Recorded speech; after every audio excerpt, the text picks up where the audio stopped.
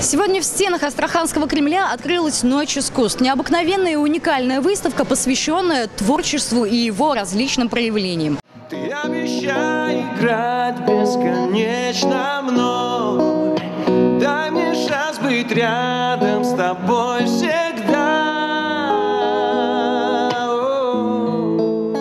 Кремль одним из первых дал старт в массовые акции, проходящие по всему городу. В Цейгаузе гармоничные железные представители мотокультуры расположились под особым углом. Здесь заслуживают внимания именно они – кастом-мотоциклы. Собранные от спицы до вилки вручную астраханскими мастерами, байки упоенно позволяют себя фотографировать. Здесь у каждого своя история и легенда. Поэтому в эту ночь звездный час настал и для них, и для их создателей. Кастомайзер, как правило, выполняет титаническую работу по сборке и дизайну. Поэтому, чтобы собрать вот такой бобер, да еще и с именем, нужен не один год практики и немалое количество фантазии. Во-первых, это кастомы.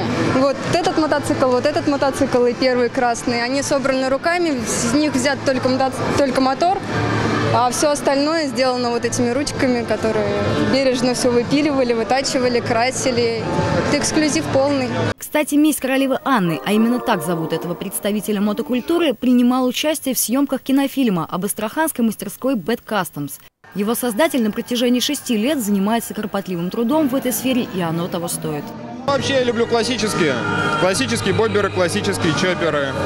Без современных, новомодных, вот всяких электроники, прибамбасов. На мотоцикле не должно быть ничего лишнего. В зале напротив расположилось не менее интересное мероприятие – выставка Максима Коротченко. Фотографа-репортажника, по его словам, только начинающего, но уже заслужившего почтения со стороны многочисленных поклонников заметила такую тенденцию сегодня, что э, преобладают, конечно, снимки черно-белые.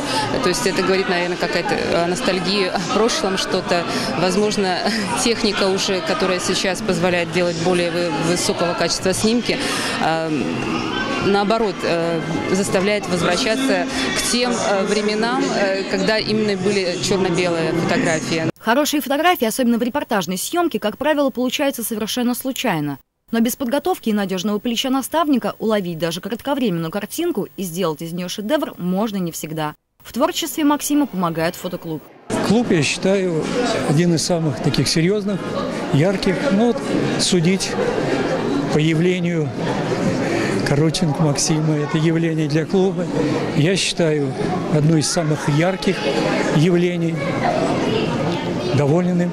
Около пяти лет занятий фотоискусством привело фотографа к профессионализму в репортажной съемке. Вероятнее всего из-за того мгновения, между которым и происходит создание картины.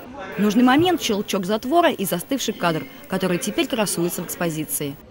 Максим – частый гость спортивных экстремальных событий. В таких съемках особая атмосфера для творца. Это ралли «Шелковый путь» 2012 года. И там мы, в общем, на этом бархане попали в страшную грозу. То есть на нас просто двигался такой темно-синий огромный грозовой фронт. И посыпал такой дождь и град. Ну, мы, естественно, бросились к своим машинам, чтобы уехать. И вот опять-таки случайность. Я просто бежал, бежал к своему микроавтобусу. И по пути просто вот так вот щелкнул, вот эту машину сделал. И все вот сложилось идеально.